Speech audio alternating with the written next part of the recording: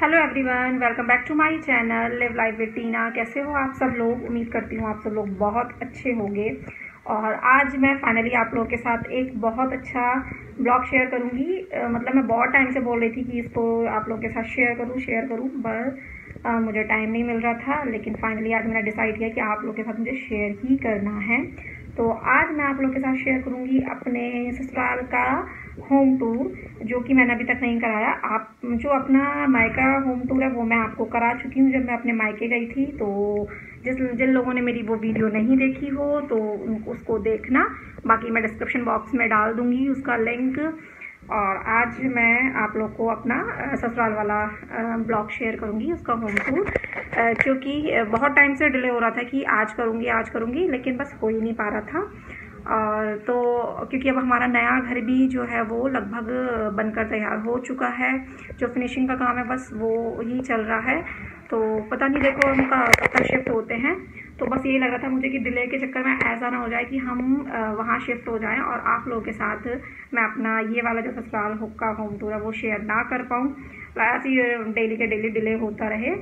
तो बस, और क्योंकि यार इस घर से मेरी यादें भी बहुत सारी जुड़ी हुई हैं, क्योंकि जब मेरी शादी को हो गए हैं साढ़े तीन साल, और मैं यही शादी होकर आई थी तो मतलब मुझे तो ऐसे लगेगा ना कि मेरी यही है मेन ससुराल, वो तो मेरा अभी नया वाला घर होगा।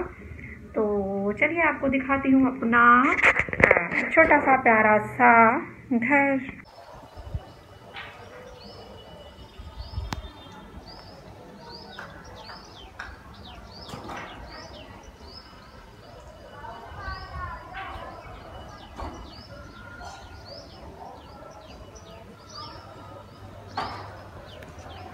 फ्रेंड्स ये है हमारा घर का जो है मेन गेट यहाँ से एंट्री है। देखिए और अब आ, मैं नीचे से स्टार्ट कर रही हूँ। तो यहाँ से ये मतलब घर स्टार्ट होता है हमारा। और ये हमारी स्कूटी खड़ी है और बाकी ये जो नए घर में सामान यूज़ हो रहा है ना ये वो रखा हुआ है। ये अभी उसी का ही है जो लाइट फिटिंग और टंकी फिटिंग वगैरह का। तो ये है। और इधर एक छोटी सी हमारी गैलरी है। और ये हमारा जो नया वाला गेट, स्टील का गेट लगेगा इस बार तो ये वो रखा हुआ है। तो मैं सोच रही थी जब लग जाएगा तब आप लोगों के साथ शेयर करूँगी।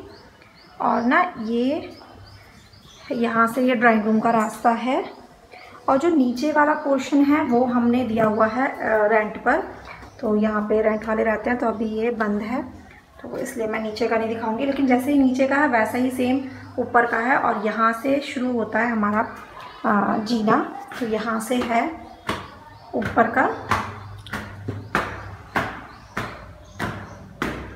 और ये हमारा ममटी है यहाँ, ये शीशा लगा हुआ है।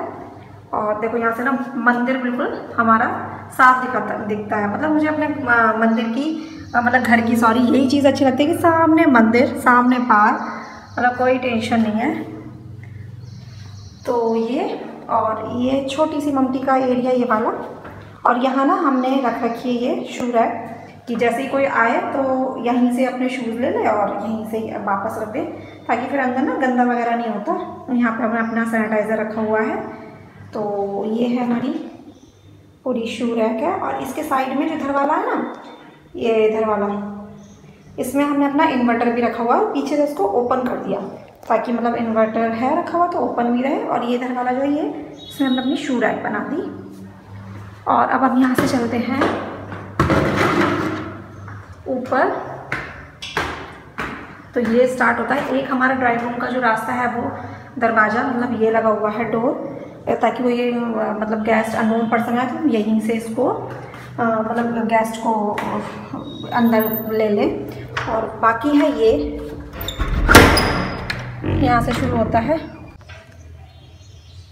तो फ्रेंड्स, ये है हमारा ड्राइंग रूम छोटा सा ड्राइंग रूम है ये, और ये है सेंटर टेबल ये पूरी मिरर वाली सेंटर टेबल है, इस पर लेकिन हमने अपनी कवर रखा हुआ है। और इसमें सबसे अच्छी बात पता है क्या है? कि इसमें ना चार ये स्टूल भी हैं। अगर ज़्यादा गेस्ट हों तो आप इनको भी यूज़ कर सकते हो, और हम इनको करते भी हैं यूज़ इसमें चारों तरफ़ हैं ये। स्टूल तो ये वाली मुझे बहुत अच्छी लगती है, और जब ये नए घर का ड्राइंग रूम है ना, थोड़ा बड़ा है तो अच्छे से आ जाएगी क्योंकि ये थोड़ा छोटा है ड्राइंग रूम तो थोड़ी दिक्कत होती है, फिर निकलने का नहीं, देखो जगह नहीं बचती। और ये देखो, ये हमने यहाँ पे अपने सोफे डाल रखे हैं, ये। यहाँ पे हमने एक अपना गुलदस्ता और ये है हमारा, ये है हमने अपना यहाँ पे बनवा रखा ये कॉर्नर। और यहाँ पे हमारा छोटा वाला एलईडी लगा हुआ है, ये। बाकी अभी हम इसको ज़्यादा यूज़ नहीं करते। जो ऊपर है ना हमारे रूम में, उसी को ही ज़्यादा यूज़ करते हैं। अब तीन तो लोग हम यहाँ रह रहे हैं तो उसमें हम क्या करें? और इस जो वॉल है, इस पर हमने करा रखा है टेक्चर देखो। मुझे बहुत सुंदर लगता है। ये ना कलर कुछ मटमैला सारा, लेकिन ये गोल्डन कलर का टेक्चर है। और यहाँ पे हमने एक लगा रखी है। इसी से मैच करती हुई पेंटिंग और बाकी जो ये वाली वॉल है, इस पर भी देखो, ये टेक्चर है। ये भी बड़ा सुंदर है। सेल्फ टेक्चर है, बहुत प्यारा लगता है ये। और अगर इसको धो दो ना, एकदम क्लीन हो जाता है। यहाँ पे हमें लगा रखी है वॉल सॉरी क्लॉक लगा रखी है। और यहाँ पे है ये मतलब मम्मी पापा की कश्मीर की आ, फ़ोटो। ये देखो। आ, पापा की पोस्टिंग जब कश, कश्मीर में थी ना तब ये लोग वहाँ गए थे घूमने। तो ये वहाँ की है मम्मी पापा की। और ये है इसके कर्टन्स ग्रीन कलर के। आ, ये देखो ये रहे। ये। और ये ना बाहर वाला रास्ता है ये वाला जो रास्ता है ये बाहर वाला है। जो इस ना ड्राइंग रूम में तीन डोर लगे हुए हैं। एक ये वाला, एक ये वाला और एक इधर ये। और देखो, ये है इसके कर्टन्स बीच में ना हमने कुछ कंट्रास्ट में दिया हुआ ये रहा। देखो, ये है ऐसे। ऐसे। तो ये है हमारा ड्राइंग रूम फ्रेंड्स अब हम आते हैं मम्मी के बेडरूम में। तो मम्मी के बेडरूम में ये बेड पड़ा हुआ है मम्मी का। ये रहा। और पहले देखो फ्रेंड्स ऐसे ही बेड चलते थे ना। ये है मम्मी का बेड और इधर मम्मी की है ड्रेसिंग टेबल खड़ी हुई। ये मतलब ड्रेसिंग टेबल है इधर। और ये पापा को अभी जो पोस्टिंग आई थी ना तब तब ये मिला थी मम्मी को। पापा को शील्ड मिलती है। ये वो रखी हुई है यहाँ। और इधर है हमारा ये स्टोर इसी रूम में। तो स्टोर को तो खैर क्या ही दिखाएँ पूरा भरा हुआ है। और ना इस रूम में ना बहुत अंधेरा रहता है क्योंकि देखो उसकी वॉल का कलर देखो। डार्क पर्पल है तो कितना भी आप इसमें आ, मतलब मतलब ज़्यादा वर्ड का बल्ब लगा लो, लेकिन अंधेरा ही रहेगा। और इधर है हमारी ये वार्ड्रूब और जो ये बीच में छोड़ी हुई है ना ये वाली तो जो छोड़ी हुई बीच में, इसमें ना पहले मम्मी लोग बोलते हैं कि यहाँ पे हम अपना कलर टीवी के लिए रखी हुई थी, कि पहले तो एलईडी नहीं चलते थे ना तो कलर टीवी इसमें आ जाए, उसके लिए ये छोड़ी हुई थी। बाकी ये है वार्ड्रूब पूरी बनी हुई है। और इसमें भी हमने पर्पल कलर के जो है कर्टन्स लगा रखे हैं। क्योंकि पर्पल कलर का जो वॉल है इसकी। और अब हम बात करते हैं अपने इसकी लॉबी की। तो यहाँ हमने अपना ये डबल डोर का फ्रिज है, ये खड़ा किया हुआ है। और ये साइड में है हमारा यहाँ मंदिर छोटा सा। आप लोगों ने देखा है, ये मंदिर बहुत बार तो कुछ इस तरह से हमने इसको सजाया हुआ है। और इसमें हमने ये वाला कर्टन्स लगाए हैं मंदिर में। ये वाले ये मुझे बहुत अच्छा लगता है ये वाले कर्टन्स तो ये है हमारा मंदिर। ये देखो कुछ इस तरह से हमने इसको डेकोर किया हुआ है। और के बाद यहाँ है हमारी ये डाइनिंग टेबल और डाइनिंग टेबल इस टाइम पे इतनी भरी हुई है ऐसा लग रहा है जैसे पता नहीं क्या क्या सामान भर दिया। और यहाँ पे ये हमारा आ, ये कोलाज बना हुआ है देखो। ये अलग अलग जगह की फ़ोटो है, मैं पास से दिखाऊँ। मैं इतना ही पास जा सकती हूँ ये देखो। और इधर है ये मम्मी की फ़ोटो, कश्मीर की। जाओ एक सेकेंड ना मैं इसको चढ़ती हूँ। चेयर पे फिर आपको आराम से दिखाती है। देखो ये मम्मी की कश्मीर की फ़ोटो है। देखिए आपको। और फिर मैं अपना ये जब चेयर पे चढ़ी गई हूँ तो दिखाती हूँ। ये हम लोग गए थे, ये वाली जो पिक्स है ये पटनी टॉप की है। हम लोग पटनी टॉप गए थे। ये वाली भी। ये वाली हमारी जम्मू की है। ये वाली जब मेरी शादी नहीं हुई थी मतलब मेरा रोका हुआ था ये तब की है। आ, ये वाली मेरी ननद की शादी की है।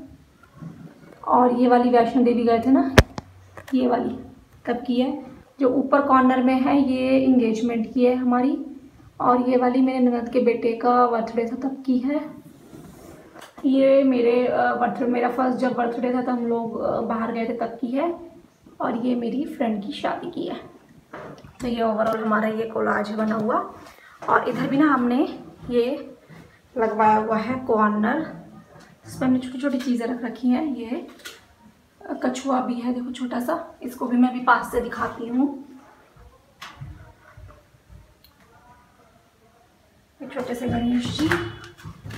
ये ये शीशे का है कछुआ लाफिंग बुद्धा और ये एक शो पीस तो ये कुछ इस तरह का हमारा ये है कॉर्नर बाकी आपने किचन तो आपने मेरी बहुत बार देखी है।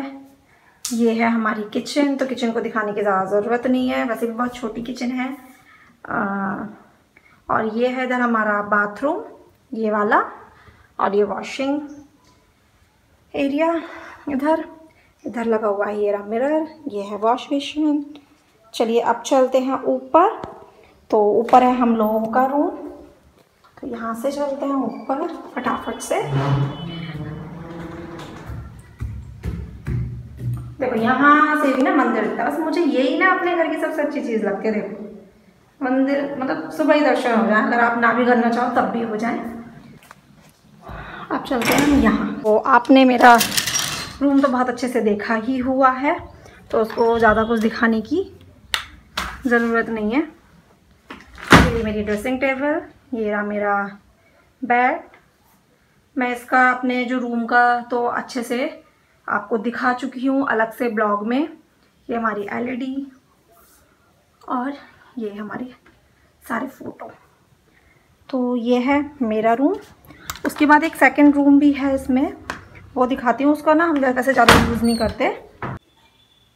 देखो, ये है सेकेंड रूम इसमें ना हमने खाली एक दीवान डाला हुआ है ताकि कोई आए तो आराम से यहाँ शिफ्ट हो जाए।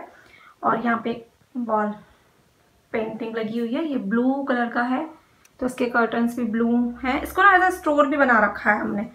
और ये इसमें वॉर्डरूम हम अपने घर के पहनने वाले कपड़े रख लेते हैं। ये है सिलाई मशीन। कभी कभी ज़रूरत पड़ती है इसकी। और ये है अलमिरा।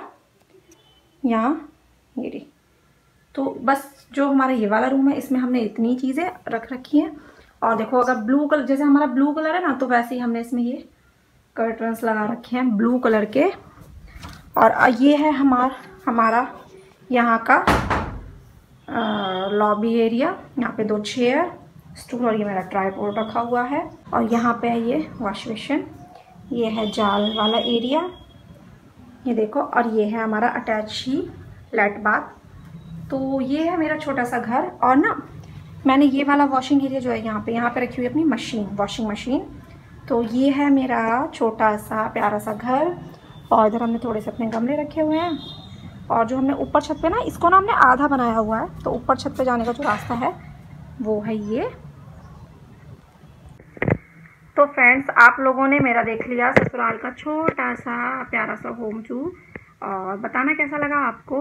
और छोटा सा है अभी घर और ना ये वाला जो घर है, ये इन लोगों ने बहुत टाइम पहले का बना हुआ है ये। 2001 या टू में ये लोग यहाँ शिफ्ट हुए थे। और शिफ्ट भी क्या हुए थे मैं बताऊँ कि मतलब पापा बाहर जॉब करते थे तो मोस्टली ये लोग बाहर ही रहे हैं। मतलब कुछ टाइम के लिए अपनी एजुकेशन के लिए आ, मतलब मेरे हस्बैंड और मेरी ननद जब यहाँ आए थे तो फिर मम्मी कुछ टाइम के लिए रही थी मतलब ट्वेल्थ इन्होंने यहीं से किया मुरादाबाद से ही। तो उसके बाद फिर ये लोग मतलब पापा फिर मम्मी और पापा आ, बाहर चले गए जम्मू पोस्टिंग हो गई थी। उसके बाद जब मेरी शादी तो अरुणाचल में थी। तो फिर ये लोग भी अपनी अपनी एजुकेशन के लिए बाहर थे तो मम्मी पापा मम्मी भी पापा के साथ थी। तो ये पूरा घर ना रेंट पर ही दे रखा था जो ये वाला, जो हमारा पोर्शन है ना, ये वाला और दूसरा वाला रूम तो जो मैंने वॉशिंग एरिया बना रखा है ना, जहाँ मैंने वॉशिंग मशीन है, वो किचन है। तो फ़िलहाल तो मैं तो किचन हमारी तो किचन एक ही है तो उसको मैं, वहाँ मैंने वॉशिंग मशीन रख दी। नहीं तो बाकी पहले सारा ये रेंट पर ही उठा हुआ था, पूरा मतलब नीचे से लेके ऊपर तक। तो अब भैया आप लोग समझते हो ना कि रेंट वाले तो पूरा ना घर का क्या कर देते हैं। तो ये इसीलिए ना, ये कुछ ऐसा हो गया था, अब थोड़ा इसको सही करवाया तो जाके अब थोड़ा अच्छा हो गया ये। और बाकी, या जब मतलब पहला जब घर बनाते ना, थोड़ा एक्सपीरियंस नहीं होता तो चीज़ें मतलब कुछ भी बन जाती हैं। जैसे अब हम नया वाला घर बनवा रहे हैं, उसमें हम बहुत सारी चीज़ें हमने सोच समझ के बनवाई कि कौन सी चीज़ कहाँ होनी चाहिए। तो बहुत अच्छे से बनवाया है वो। देखो, मैं जब पूरा तैयार होगा, तब आपको उसका होम शुरू करवाऊँगी। तो बस यही है मेरा छोटा सा घर। तो आप लोग को पसंद आए तो मेरे ब्लॉग को लाइक, सब्सक्राइब और शेयर करना।